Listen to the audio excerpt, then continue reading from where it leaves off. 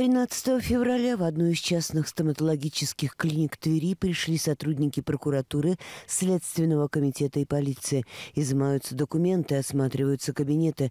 Накануне в этой клинике случилась трагедия. Родители привели сюда для лечения трехлетнюю дочь. В операционном кабинете девочку усадили вот в это стоматологическое кресло, и чтобы вся процедура прошла безболезненно, ввели наркоз. Из этого наркоза ребенок не вышел. Малышку срочно доставили в детскую областную больницу, где, не приходя в сознание, девочка скончалась.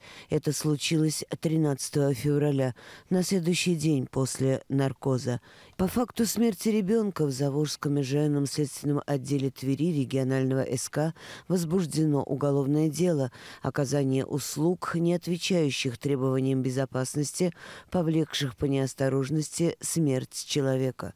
В рамках расследования уголовного уголовного дела следователям будут всесторонне исследованы обстоятельства и причины трагедии. Расследование уголовного дела находится под контролем прокуратуры. По поручению прокурора Тверской области Максима Жука прокуратурой Пролетарского района города Твери организована проверка по факту смерти в медицинском учреждении девочки 2020 года рождения. В ходе проверки будут установлены обстоятельства и причины произошедшего, а также дана оценка действиям виновных лиц. При наличии оснований будут приняты меры прокурорского реагирования. Ход и результаты расследования уголовного дела, возбужденного по данному факту, находятся на контроле прокуратуры. Мы следим за ходом расследования уголовного дела. Прокуратура Тверской области утвердила обвинительное заключение по уголовному делу в отношении жителя Московской области, обвиняемого в незаконном производстве наркотических средств, приобретении, перевозке и хранении прекурсоров наркотических средств в особо крупном размере. По версии следствия, обвиняемый, действуя в составе группы лиц по предварительному сговору, в период с августа по декабрь 2022 года занимался незаконным производством производством наркотических средств.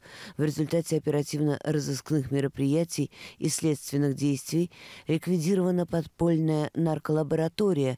Из незаконного оборота изъято около 13 килограммов наркотических средств, свыше 236 килограммов прекурсоров наркотических средств и лабораторное оборудование.